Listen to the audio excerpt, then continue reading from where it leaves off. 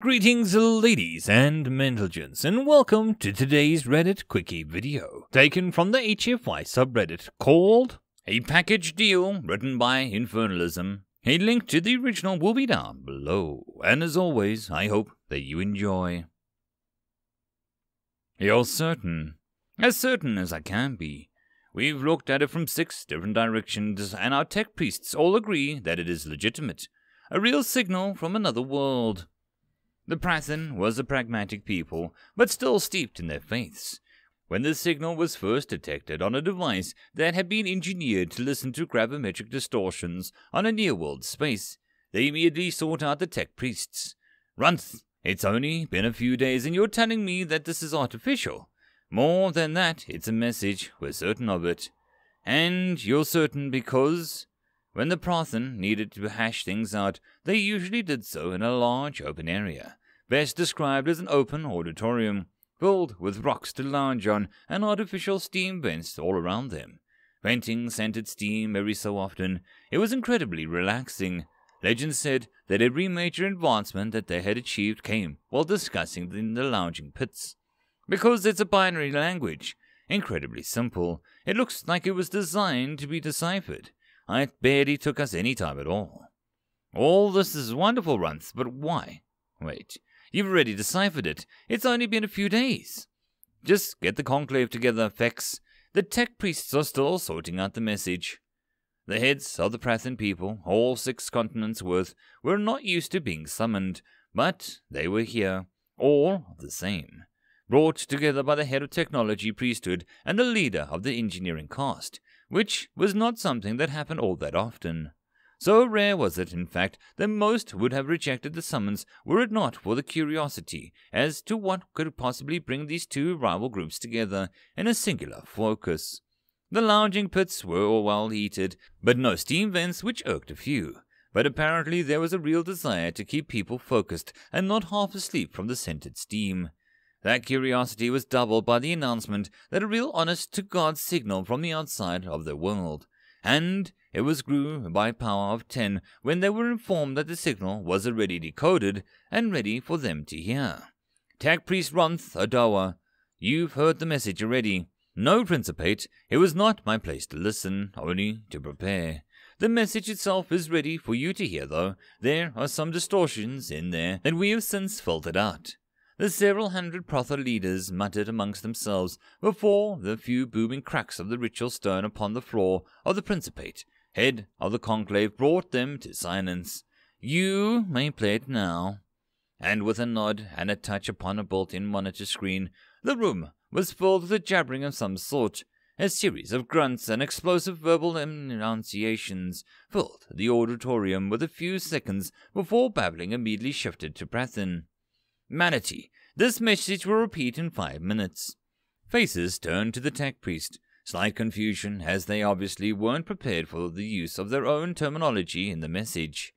Where possible, we have substituted our own terminology for technical terms to make the message as clear as possible to minimize confusion. And how do you know that you got the translations right? That will be explained momentarily. The conclave was curious and would likely have demanded answers on the spot right then, except, Hello, my name is John McGregor, pilot, United States Air Force. A person, an alien person, was suddenly speaking to them. If you're receiving this message, then you're both technically capable of receiving it and translating it, and curious enough to hear what it is to say. I come bearing a message amongst other things, but to understand this fully, you need to understand a few things first. Our world is called Earth. It is very likely to be very far from your own world, out in one of the arms of the spiral galaxy that we have named the Milky Way. We don't know what kind of world you live on, but ours was largely lush with life, even in the most inhospitable of places. We misused our world for so long, but we were finally starting to realize that, and were just starting to do something about it when it happened. It was the beginning of a growing season in one part of our world, the northern half, when it was discovered that all of our crops were being born without ability to germinate seeds. Our livestock, likewise, were giving birth to stillborn young. The two Prathian leaders whispered to each other here and there, What is livestock?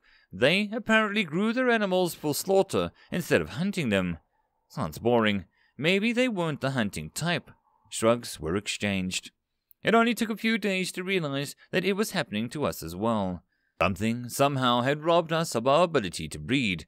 But still, it wasn't limited. It seemed to be affecting all living things, plants and animals alike, across the world. A horrifying thought a collection hissed out at each other, slowly coming to realize that they were listening to the voice of a dead man. We were never a unified people. We fought wars over resources, religion, and politics, but we had come so close to getting past this before this fate fell upon us. A good portion of our people fell to despair, malice, and apathy. Many killed themselves. Those that remained threw themselves into discovering who had murdered us. We discovered a few things. First, we discovered the source. We recognized that the structure of the virus was alien from anything that we'd ever seen on our world. It attacked all manner of life down to a microscopic level. And most surprising of all, it wasn't trying to dominate or overtake the biosphere. It was just destroying its means to reproduce. It had to be something artificially made. And like that, it was like our people were reborn. Those that had fallen to despair and grief dragged themselves back up again. We were a doomed race. We all knew that. We had a few years left, aided by our stock seed supplies and lab grown meat products, and we made the most of them. It took a few years, but analysis of the earlier astronomical footage showed an arrival of a rogue comet in our system that fell apart just within the inner system. A few weeks after that comet's arrival, the viral attack began. That's when it became painfully obvious that this wasn't an attack on our world, but on the entire solar system. We had to conclude that whoever had done it had done so without them even knowing we were even here. They murdered us without even noticing us bitterness their anger, and a hint of despair that the voice had spoken on before. A cruel universe that wiped them out without even the dignity of acknowledgement. Once we realized that, we that were left poured ourselves into two projects. The first being this message itself, and we had originally started the message program as a way to find communication systems that could function over long distances with minimal lag time, even millions and millions of miles. We discovered through study of gravimetric distortions that gravity waves could be used to dilate space and separate its layers. Space has layers! Now they were really intrigued, though equally sad over the dying people and angry at how they'd been mistreated. The Prathen were a pragmatic people, but also full of faith, and their gods were merciful entities that would never allow this to happen.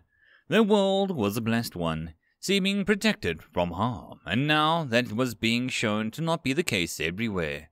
It was a galling thought that one was already provoking the Prathian leaders into introspection. We found a way to efficiently transmit a signal through the layers of space that allowed the signal to travel at a great speed with nearly no distortion or loss of signal, even over immense distances.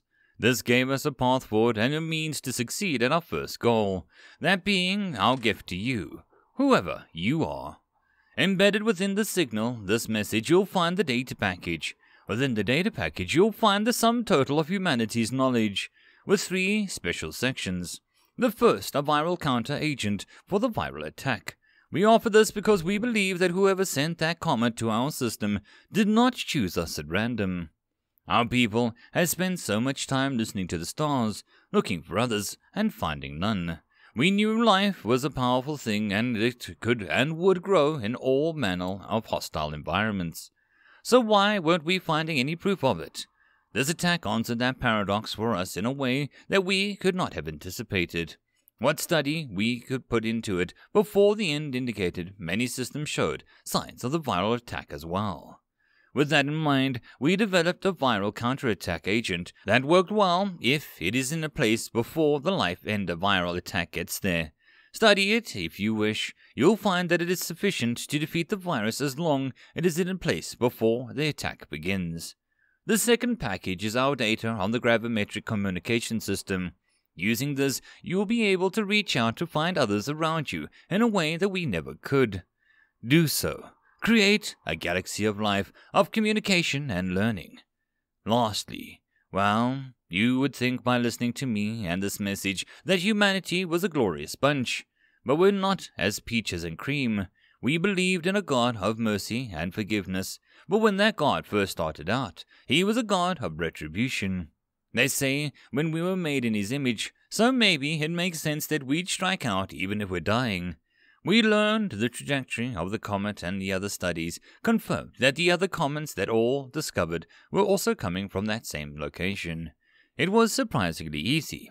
Maybe they just didn't think anyone would survive long enough to retaliate. Who knows?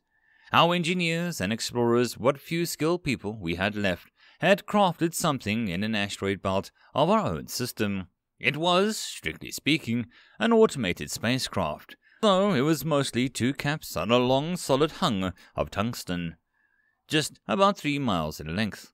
At one end we put an automatic navigation system, at the other we put a propulsion system that creates thrust, having microwaves bounced around the inside of a vacuum sealed container. It's called an EM drive. You'll find the details of it in the technical data attached to this message. Essentially, we turned it on and aimed it at the people who killed our world. Our scientists say that the EM drive could get the ship up to 72% the speed of light before it impacts, destroying that world before it even has a chance to respond. That's a mercy compared to what they did to us. We spent our last years setting up transmitters in orbit on our moon and every other stable location that stood a chance of surviving, and a long term without anyone around to maintain them, to send out this message. Shortly before the ship was launched, the last of our scientists asked that they be allowed to attach this gravimetric transmitter to the kill vehicle systems when they realized how much space existed between our world and the world that murdered us. It'll pass by thousands of star systems that might hold life life that had not yet been wiped out. We had always hoped that we would, one day, discover how to reach out and find others, others like yourselves, and find our place in the galaxy, perhaps contribute in some meaningful way. We were robbed of that for reasons we'll never know, but that does not mean that we still cannot contribute. Use the knowledge to protect yourselves. Use it to find one another. Use it to reach one another and come together. We, humanity, wasted so much time coming together. If we'd only tried harder, earlier, maybe we might have had a better chance at survival. But you, whoever you are, you have a chance now. Please, make the most of it. Remember us. We are humanity. This message will repeat in five minutes. The conclave was silent for some time before they began to debate the merits of the veracity of the message. Hard questions were asked of the tech priesthood and the astronomers. The signal that they were receiving was coming from a small backwater system in a nearby arm of the spiral. A dead world with no signs of life at all. The supposed weapon, there was no sign. The Prathen were very pragmatic and studious, but they moved with an uncharacteristic speed for once, finally accepting the truth of the message though that was made much easier by the obvious usefulness of the data package that had been found embedded in the message itself. It took them two generations to craft the transmitter and receiver, but eventually it was flipped on by the head priest Runth, with the receiver keyed in for a specific frequency of sublayers, only to find silence there. Silence persisted for long minutes until Runth keyed the transmitter with one claw finger and spoke in his native Prathen. Hello? A long minute before words came back to him through the receiver, speaking in that same binary language of the message. Do you remember them? Silence again, as the conclave stared and muttered amongst themselves for another long minute before they spoke again. We are the Prathen, and we remember humanity. And that, my friends, is the end of this Reddit Quickie. I hope that you enjoyed. If you'd like to support this channel, there are numerous ways to do so, listed in the description down below. The easiest and best way would be to share this video and my channel as much as possible. I'll see you all in the next video and I hope that you have a good one until then. Cheers.